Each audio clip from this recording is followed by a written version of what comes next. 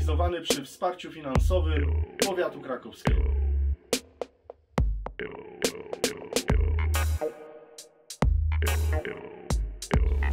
Witam serdecznie. Aktywny Rok Powiatu Krakowskiego. Kolejny odcinek tego cyklu przed nami.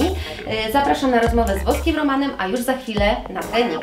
E, Romek, opowiedz o specyfice Twojego treningu. E, Ja przygotowałem jak na te nasze plany dla aktywnego roku powiatu krakowskiego treningi jogiczne, co może jest dla wielu obserwatorów mojej osoby dziwne, bo kojarzą mnie z jakimś treningiem siłowym, bokserskim, pływania, ale tak jak e, już mówiłem w pierwszym odcinku z moim udziałem, e, zacząłem od jogi, moja mama miała tą pierwszą w Polsce szkołę jogi, więc jako mały szkrab byłem, że tak powiem, włączony automatycznie i do dzisiaj Wiele ćwiczeń z jogi ułatwia mi treningi na przykład na siłowni.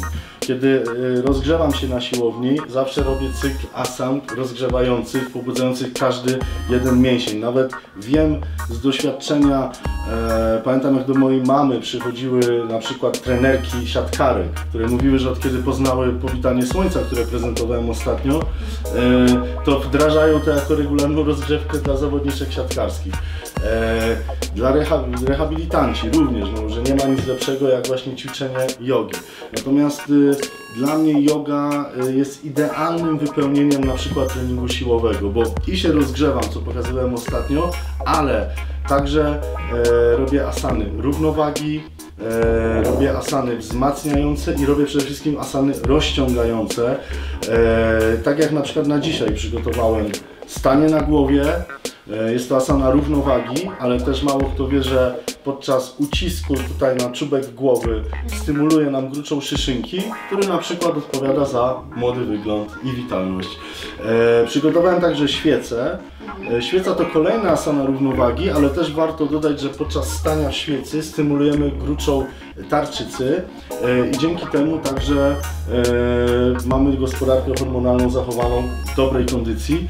E, I co więcej, jeszcze chciałem pokazać takie jedno ćwiczenie. Ono się nazywa tak dosyć strasznie kobra. Kobra jest również ćwiczeniem rozciągającym, ale przy okazji wzmacniającym nasze mięśnie pleców. E, No poprawia na pewno elastykę.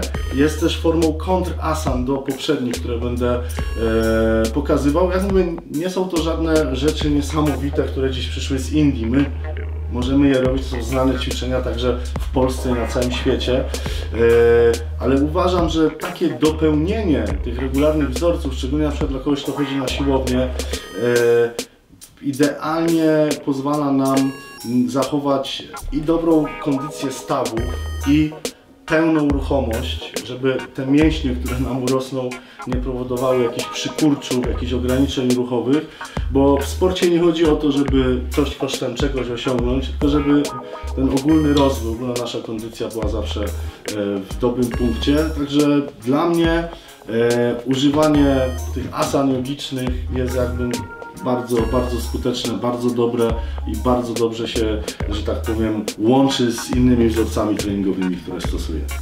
Dokładnie. Myślę, że e, yoga w Twoim wydaniu to jest taki stuprocentowy przykład na to, że mobilność ciała, taka gibkość, elastyczność to jest to, to jest podstawa to, czego potrzebujemy do zdrowia. E, Pamiętamy, że jest za nami rok pandemii, e, troszeczkę jeszcze te obostrzenia tutaj mamy, ale te ćwiczenia, które wykona Romek, możecie zrobić wszędzie, możecie zrobić w domu, w ogródku, e, na balkonie, na wakacjach gdzieś będąc, gdziekolwiek sobie zamarzycie, po prostu nawet wystarczy kawałek kocyka czy kawałek przestrzeni, Dokładnie. dobrze się bawić, skorzystać z tych porad, bo są naprawdę świetnie pokazane i działamy. Zapraszam. Zaczynamy od stania na głowie.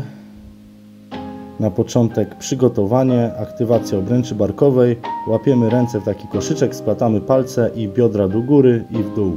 Tak zwane delfiny, które aktywują naszą obręcz barkową, która będzie stabilizowała nas podczas stania na głowie. Kilka powtórzeń. I teraz wracamy do pozycji tak zwanego embriona, by jeszcze na chwilę zastygnąć w przygotowaniu do właściwego stania na głowie. No i splatamy znowu ręce, łapiemy rękami za łokcie, żeby odmierzyć idealną odległość między naszymi łokciami. Splatamy dłonie w koszyczek, wsadzamy głowę i powoli, powoli wychodzimy do góry, aż do całkowitego wyprostu nóg. Doświadczeni jogini mówią, że początkujący powinni najwyżej 15 minut w takiej pozycji wytrwać, ale oczywiście wystarczy dosłownie kilkadziesiąt sekund. Możemy spróbować jakiejś kombinacji, na przykład takiej kołyski ze złączonymi stopami i skrętów bioder.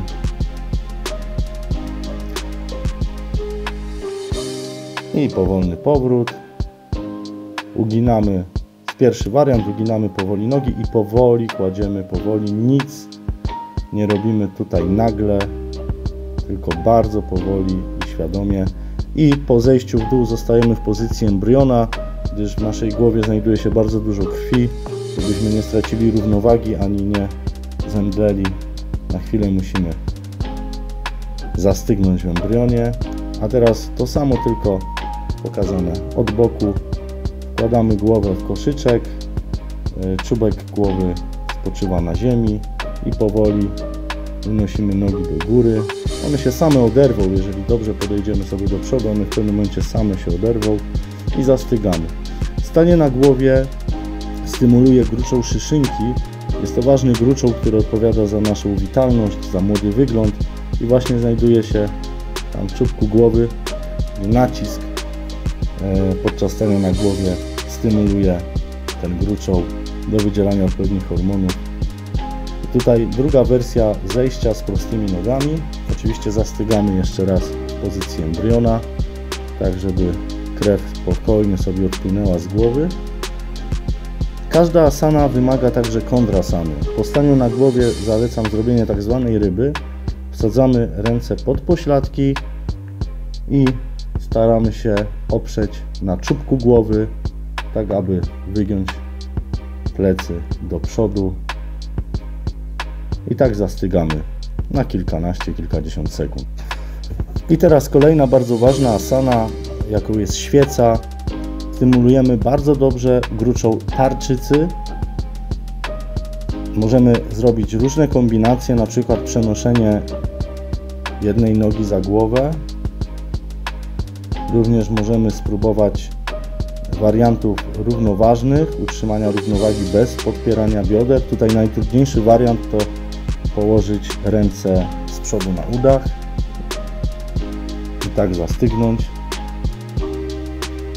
No i teraz bardzo dobry dla naszych powięzi, dla rozciągnięcia pleców ćwiczenie postawienie obu nóg za głową. Wspaniale rozciągają się nasze plecy, wszelkie powięzie tylnej taśmy. Rewelacyjne ćwiczenie na poprawę samopoczucia. I powoli sobie schodzimy, uginamy nogi. Możemy zrobić tak zwaną kołyskę. Polecam bardzo taki zestaw. Poprawia samopoczucie, stymuluje ważne gruczoły. I przed nami kobra.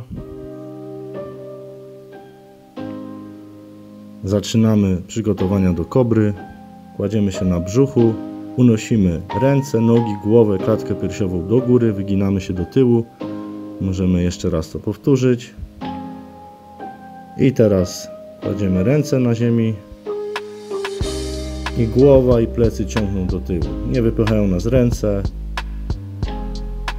I możemy skręcić głowę w lewo, w prawo, spróbować odchylić się jeszcze bardziej i wracamy w dół. To była kobra. Teraz możemy wrócić jeszcze raz do pozycji embriona, jeszcze raz się rozciągnąć. No i teraz na sam koniec najtrudniejsza asana jogi, największe wyzwanie, tak zwana savasana, czyli relaks. Kładziemy się na plecach, całkowicie zrelaksowani, spokojnie oddychamy i relaksujemy całe ciało. Bardzo dziękuję, pozdrawiam wszystkich, do zobaczenia.